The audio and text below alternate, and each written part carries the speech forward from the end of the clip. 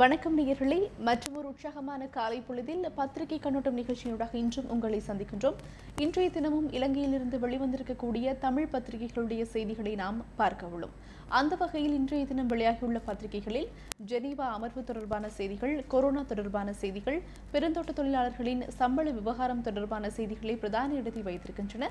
முதலில் நாம் வீரகேசரி பத்திரிகையினை பார்க்கலாம். ஜெனீவா நெருக்கடியை சமாளிக்க ஆணைக்குழு அரசாங்கம் நடவடிக்கை கடந்த கால பரிந்துரைகளை மீள்பரிசீலிக்கவும் புதிய யோசனை முன்வைக்கவும் முடிவு எனும் தலைப்பிலான செய்தி கட்டமிடப்பட்ட செய்தியாக வீரகேசரி பத்திரிகையில் பிரதானமாக பிரசுரிக்கப்பட்டிருக்கின்றது.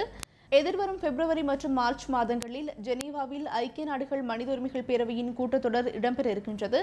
இந்த கூட்டத்தொடர் இந்த கூட்டத்தொடரில் இலங்கையில் இடம்பெற்ற இறுதிக்கட்ட யுத்தத்தின் போது ஸ்ரீலங்கா அரசாங்கம் போர்க்குற்றங்கள் மற்றும் மனித உரிமை மீறல்கள் செயற்பாடுகளில் ஈடுபட்டதாக தொடர்ச்சியான குற்றச்சாட்டுகள் முன்வைக்கப்பட்டு வருகின்றன. இறுதிக்கட்ட யுத்த பொறுப்புக்குரல் விடயத்தில் இலங்கையை சர்வதேச நீதிமன்றத்திற்கு கொண்டு செல்ல வேண்டும் எனவும் இலங்கையின் பொறுப்புக்குரல் விடயத்தில் சர்வதேச கண்காணிப்பு அவசியம் எனவும் அஹ், மனித உரிமைகள் விடயங்களில் இலங்கை தொடர்ந்தும் தவறிழைத்து வருவதாகவும் தமிழர் அரசியல் பிரதிநிதிகள் கையொப்பமிட்டு அறிக்கையொன்றை ஜெனீவாவிற்கு அனுப்பி வைத்துள்ளார்கள்.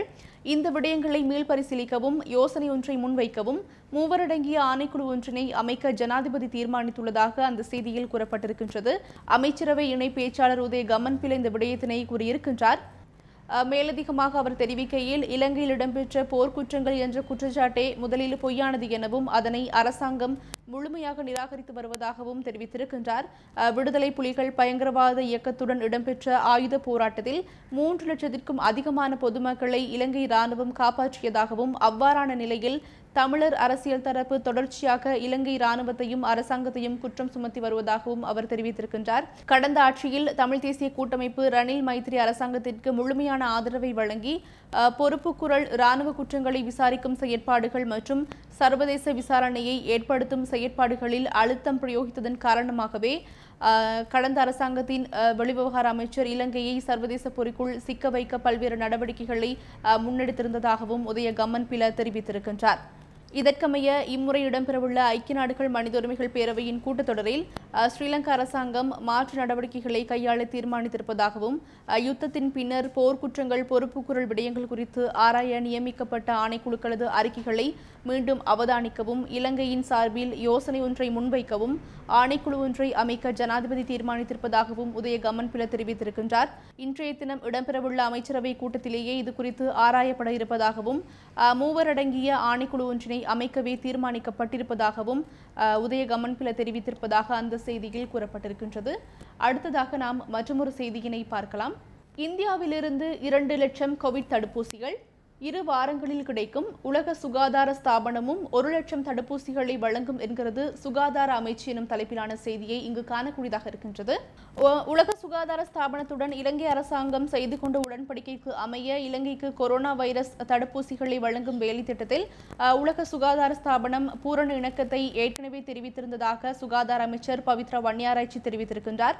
அதற்கமைய உலக நாடுகளுக்கு வழங்கப்படவுள்ள கொரோனா வைரஸ் அதற்கமைய உலக நாடுகளுக்கு வழங்கப்படவுள்ள கொரோனா வைரஸ் தடுப்பூசிகளில் இலங்கைக்கும் முதற்கட்டமாக ஒரு லட்சம் தடுப்பூசிகளை வழங்க உள்ளதாக உலக சுகாதார ஸ்தாபனம் அரசாங்கத்திற்கு அறிவித்திருப்பதாகவும் சுகாதார அமைச்சர் தெரிவித்திருக்கின்றார். அதற்கமைய பிப்ரவரி மாதம் நடுப்பகுதியில் உலக சுகாதார ஸ்தாபனத்தின் மூலம் இந்த ஒரு லட்சம் தடுப்பூசிகள் கிடைக்கும் எனவும் அவர் தெரிவித்திருக்கின்றார். அதேபோன்று அதேபோன்று இந்தியா தற்போது இருபது மில்லியன் கொரோனா வைரஸ் தடுப்பூசிகளை தமது நேச நாடுகளுக்கு வழங்க தீர்மானித்துள்ள நிலையில் இலங்கைக்கும் இந்த தடுப்பூசிகளை வழங்க இணக்கம் தெரிவித்திருப்பதாக சுகாதார அமைச்சர் தெரிவித்திருப்பதாக அந்த செய்தியில் அஹ், கூறப்பட்டிருக்கின்றது. இதேவழி நாம் மற்றொரு செய்தியினை பார்க்கலாம். பிரித்தானியாவில் பரவும் வைரசுக்கு சமமான வைரஸ் இலங்கையிலும் பரவல். நாட்டில் எப்பகுதியை முடக்குவது என்ற குழப்பத்தில் பொது சுகாதார அதிகாரிகள் சங்கம் எனும் தலைப்பில் இங்கு ஒரு செய்தியினை காணக்கூடியதாக இருக்கின்றது. நாட்டில் கொரோனா வைரஸ் தொற்று மிக மோசமாக பரவி கொண்டிருக்கின்ற நிலையில் அரசாங்கமானது நாட்டை திறக்கும் நடவடிக்கைகளை முன்னெடுத்திருப்பது ஆரோக்கியமான செயற்பாடு அல்ல என பொது சுகாதார அதிகாரிகள் சங்கம் கருத்து வெளியிட்டிருக்கின்றது. இலங்கையில் தற்போது பரவும் வைரஸானது பிரித்தானியாவில் பரவும் வைரஸ் இல்லை என்ற போதிலும் அதற்கு ஒத்த வைரஸே இலங்கையிலும் பரவி வருவதாக அந்த சங்கம் அஹ், தெரிவித்திருக்கின்றது. நாட்டில் கொரோனா வைரஸ் இன்னமும் சமூக தொற்றாகவில்லை என அரசாங்கமும் சுகாதார அமைச்சும் தொடர்ச்சியாக தெரிவித்து வருகின்ற போதிலும் நாளுக்கு நாள் கொரோனா வைரஸ் தொற்றாளர்கள் அடையாளம் காணப்பட்டு வருவதாக பொது சுகாதார அதிகாரிகள் சங்கத்தின் தலைவர் உப்புல் ரோஹன தெரிவித்திருக்கின்றார். இந்த நிலையில் நாட்டின் சகல பகுதிகளிலும் கொரோனா வைரஸ் தற்போது பரவி இருக்கின்றது. இப்போது நாட்டில் அதிகளவான வைரஸ் தொற்றாளர்கள் அடையாளம் காணப்பட்டு வருவதோடு நாட்டில் எப்பகுதியை முடக்குவது என்பது குறித்து குழப்பமான ஒரு நிலைமை ஏற்பட்டிருப்பதாகவும் அவர் தெரிவித்திருப்பதாக அந்த செய்தியில் கூறப்பட்டிருக்கின்றது. அதேபோன்று எதிர்வரும் இருபத்தோராம் திகதியோடு விமான நிலையங்கள் முழுமையாக திறக்கப்பட இருக்கின்றன. சுற்றுலா பயணிகளை நாட்டிற்குள் அனுமதிப்பதற்கான தீர்மானமும் எடுக்கப்பட்டிருக்கின்றது. இவ்வாறான செயற்பாடுகள் மீண்டும் நாட்டை முழுமையாக முடக்க வேண்டிய நிலைக்கு கொண்டு போய் சேர்க்கும் எனவும் அவர் எச்சரிக்கை விடுப்பதாக அந்த செய்தியில் கூறப்பட்டிருக்கின்றது. இதேவேளை நாம் மற்றொரு செய்தியினை பார்க்கலாம். சுயநிர்ணய உரிமை மரபு வழி தாயகம் தமிழ் தேசியம் இவையே எமது மூச்சு. யாழ் பல்கலைக்கழக மாணவர் ஒன்றியம் அறிக்கை எனும் தலைப்பிலான செய்தி புகைப்படத்தோடு இங்கே வெளியிடப்பட்டிருக்கின்றது. மீண்டும் ஒருமுறை சுய நிர்ணய உரிமை மரபுவழி தாயகம் மற்றும் தமிழ் தேசியம் இவையே எமது மூச்சு என உரத்து ஒழிப்போம் என்று யாழ் பல்கலைக்கழக மாணவர் ஒன்றியம் தெரிவித்திருக்கின்றது. யாழ் பல்கலைக்கழகத்தில் மக்கள் திரண்ட பொங்கு தமிழ் பிரகடனத்தின் இருபதாம் ஆண்டு நிறைவு நாள் நிகழ்வு நேற்றைய தினம் நடைபெற்றது. தமிழ் மக்களது அபிலாஷிகளான சுய நிர்ணய உரிமை மரபுவழி தாயகம் தமிழ் தேசியம் என்கிற விடயங்களை இந்த பிரகடனம் உள்ளடக்கி இருப்பதாக தெரிவிக்கப்பட்டிருக்கின்றது. இரண்டாயிரத்து ஓராம் ஆண்டு ஜனவரி மாதம் பதினேழாம் தேதி அஹ், தமிழ் மக்கள் தங்களது இன உரிமைகளை வலியுறுத்தி உலகெங்கும் அவற்றை பறைசாற்ற மிகுந்த எழுச்சியோடு இராணுவ அச்சுறுத்தலுக்கு மத்தியிலும் அஹ், ஒன்று கூடிய நிகழ்வை பறைசாற்றும் விதத்திலேயே யாழ் பல்கலைக்கழகத்தில் இந்த பொங்கு தமிழ் பிரகடனம் செய்யப்பட்டிருந்தமை குறிப்பிடத்தக்கது. இவைகள் இன்றைய தினம் வீரகேசரி பத்திரிகையினுடைய பிரதான செய்திகளாக காணப்படுகின்றன. அடுத்ததாக தினக்குரல் பத்திரிகையினை பார்ப்போம்.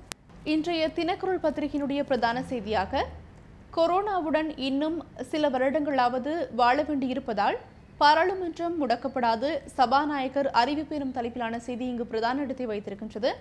அமைச்சர் ஒருவர் உள்ளடங்கலாக நாடாளுமன்ற உறுப்பினர்கள் மூவருக்கும் நாடாளுமன்ற அதிகாரிகள் ஊழியர்கள் உள்ளிட்ட ஒன்பது பேருக்கும் கொரோனா தொற்று உறுதி செய்யப்பட்டுள்ள போதிலும் நாடாளுமன்றத்தை ஒருபோதும் முடக்குவதற்கான நடவடிக்கைகள் எடுக்கப்படவில்லை என சபாநாயகர் மஹிந்த யாபா அபிவர்தன தெரிவித்திருக்கின்றார். நாடாளுமன்ற அமர்வுகளை பத்தொன்பது இருபது இருபத்தி ஒன்று மற்றும் இருபத்தி இரண்டாம் திகதிகளில் நடத்துவதற்கு ஏற்கனவே தீர்மானிக்கப்பட்டுள்ள போதிலும் இன்று நடைபெறும் கூட்டத்தில் அது தொடர்பில் தீர்மானம் எடுக்கப்பட உள்ளதாகவும் சபாநாயகர் தெரிவித்திருப்பதாக அந்த செய்தியில் கூறப்பட்டிருக்கின்றது. இதேவேளை மற்றொரு செய்தியாக இணை அனுசரணையை இலங்கை இனி வழங்காது.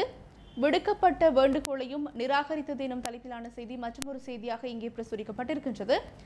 ஐக்கிய நாடுகள் மனித உரிமைகள் பேரவையில் கொண்டுவரப்படவுள்ள புதிய தீர்மானத்திற்கு இணை அனுசரணை வழங்குமாறு விடுக்கப்பட்ட வேண்டுகோளை இலங்கை நிராகரித்துள்ளது.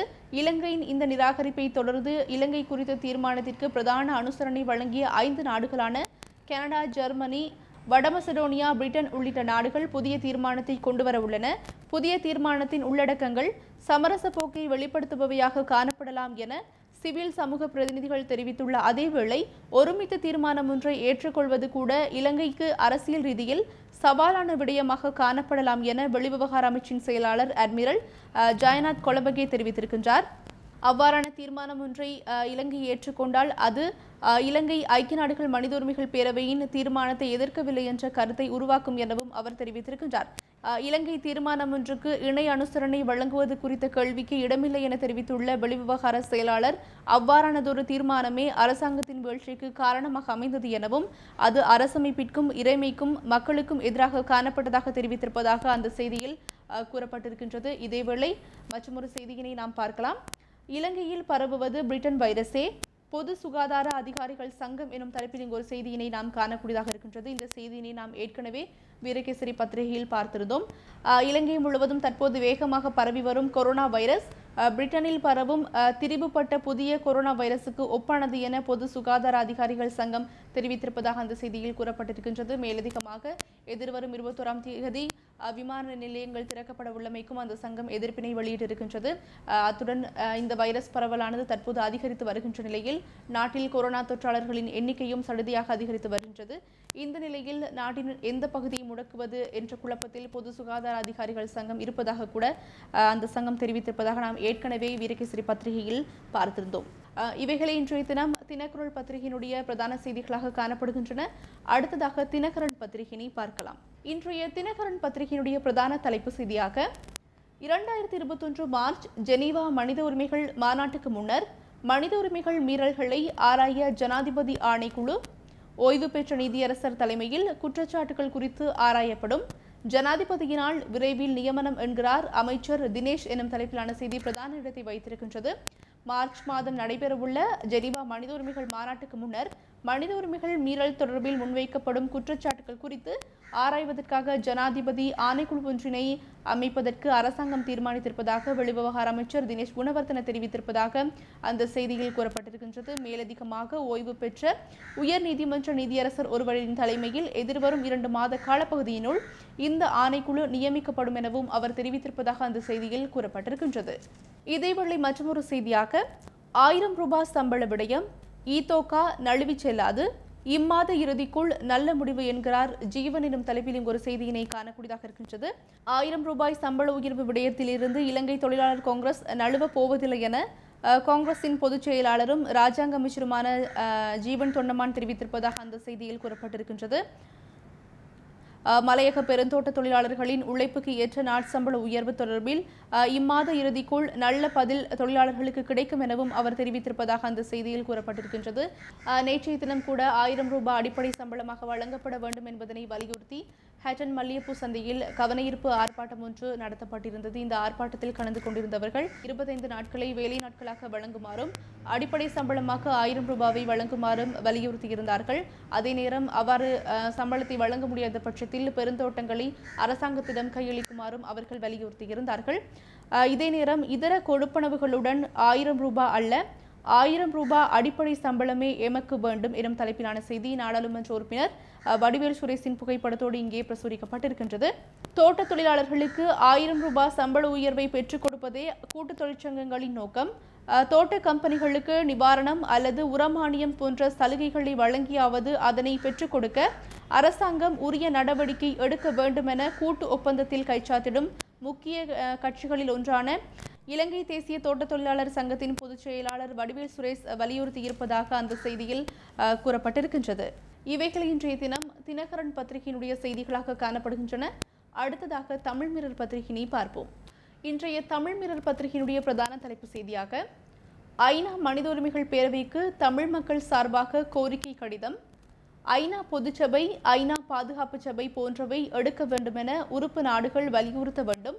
மேலே குறிப்பிடப்பட்டிருக்கும் நடவடிக்கைக்காக செயலாளர் நாயகத்திற்கு மீளவும் அனுப்பி வைக்க வேண்டும். ஐநா மனித உரிமை உயர்ஸ்தானிகரின் அலுவலகம் இலங்கையில் ஸ்தாபித்தல் வேண்டும். சாட்சிகளை சேகரிக்கின்ற பொறிமுறையை பன்னிரண்டு மாத அவகாச நிபந்தனையோடு ஏற்படுத்துதல் வேண்டும் எனும் தலைப்பிலான செய்தி பிரதான இடத்தை வைக்கின்றது. ஐக்கிய நாடுகள் மனித உரிமைகள் பேரவைக்கு நான்கு அம்சங்களை உள்ளடக்கி தமிழ் மக்கள் சார்பாக கோரிக்கை கடிதம் ஒன்று அனுப்பி வைக்கப்பட்டிருக்கின்றது. நேற்றைய நாடாளுமன்ற உறுப்பினர்களான இரா சம்பந்தன் கஜேந்திரகுமார் பொன்னம்பலம் சி. வி. விக்னேஸ்வரன் ஆகியோரும் சிவில் சமூக பிரதிநிதிகள் அடங்கலாக பதினோரு பேர் கையொப்பமிட்டுள்ள இந்த கடிதம் அனுப்பி வைக்கப்பட்டிருக்கின்றது. ஐக்கிய நாடுகள் மனித உரிமை பேரவையின் நாற்பத்தேழு உறுப்பு நாடுகளின் தூதரகங்களுக்கும் அனுப்பி வைக்கப்பட்டுள்ளதாக அந்த செய்தியில் கூறப்பட்டிருக்கின்றது.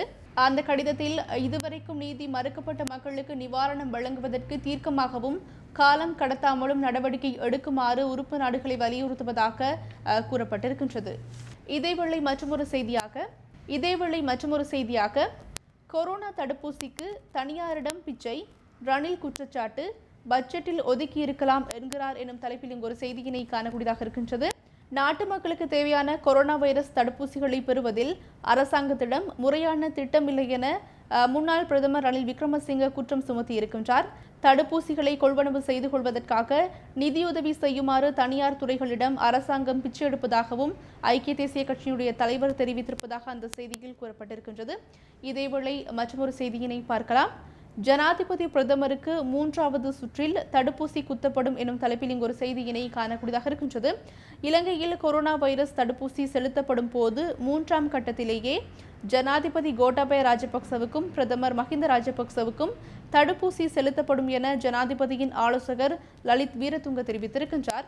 இதற்கமைய தடுப்பூசி செலுத்தும் முதலாவது கட்ட நடவடிக்கையின் போது சுகாதார ஊழியர்கள் உள்வாங்கப்படுவார்கள் எனவும் இரண்டாம் கட்டத்தில் பாதுகாப்பு படையினர் உள்வாங்கப்படுவார்கள் எனவும் அவர் தெரிவித்திருக்கின்றார். அத்துடன் மூன்றாம் கட்டத்தின் போது அறுபது வயதிற்கு மேற்பட்டவர்கள் உள்ளீர்க்கப்படுவார்கள் எனவும் அதன் அடிப்படையிலேயே ஜனாதிபதியும் பிரதமரும் மூன்றாவது சுற்றில் உள்வாங்கப்படுவார்கள் எனவும் ஜனாதிபதியின் ஆலோசகர் தெரிவித்திருப்பதாக அந்த செய்தியில் கூறப்பட்டிருக்கின்றது. இவைகள் இன்றைய தினம் தமிழ் மிரர் பத்திரிகை கொண்டு வந்துள்ள பிரதான செய்திகளாக காணப்படுகின்றன. அடுத்ததாக இன்றைய நாளுக்கான வானிலை நிலவரங்களோடு இலங்கை வளிமண்டலவியல் திணைக்களத்தின் மூத்த வானிலை அதிகாரி முகமது சாலிஹின். கிழக்கு வடமத்திய மத்திய மற்றும் உவ மாகாணங்களில் அடிக்கடி மழை பெய்யக்கூடும். மாத்தளை மற்றும் பொலனறுவை மாவட்டங்களின் சில இடங்களில் ஐம்பது மில்லிமீட்டரிலும் கூடிய ஓரளவு பலத்த மழை பெய்யலாம் என எதிர்பார்க்கப்படுகின்றது. வடமாகாணத்தில் சிறிதளவு மழை பெய்யக்கூடும் என எதிர்பார்க்கப்படுகின்றது. சப்ரகமுக மற்றும் மேல் மாகாணங்களின் பல இடங்களிலும் அத்துடன் குருநாகல் காலி மற்றும் மாத்தறை மாவட்டங்களின் பல இடங்களிலும் பிற்பகல் ஒரு மணிக்கு பின்னர் மழை அல்லது இடியுடன் கூடிய மழை பெய்யக்கூடும். சில இடங்களில் எழுபத்தி ஐந்து மில்லிமீட்டரிலும் கூடிய ஓரளவு பலத்த மழை பெய்யலாம் என எதிர்பார்க்கப்படுகின்றது. பலத்த காற்று மின்னல் தாக்கங்களும் ஏற்படக்கூடிய சந்தர்ப்பங்களில் பொதுமக்கள் அவதானத்துடன் செயற்படுமாறு கேட்டுக்கொள்ளப்படுகின்றனர் சப்ரகமுக மற்றும் மேல் மாகாணங்களில் காலை வேளையில் பனிமூட்டம் காணப்படும். கடல் பிராந்தியங்களை பொறுத்தவரையில் முல்லைத்தீவு தொடக்கம் திருகோணமலை மட்டக்கிளப்பு ஊடாக பொத்துவில் வரையான கடல் பிராந்தியங்களின் பல இடங்களில் மழை அல்லது இடியுடன் கூடிய மழை பெய்யக்கூடும்.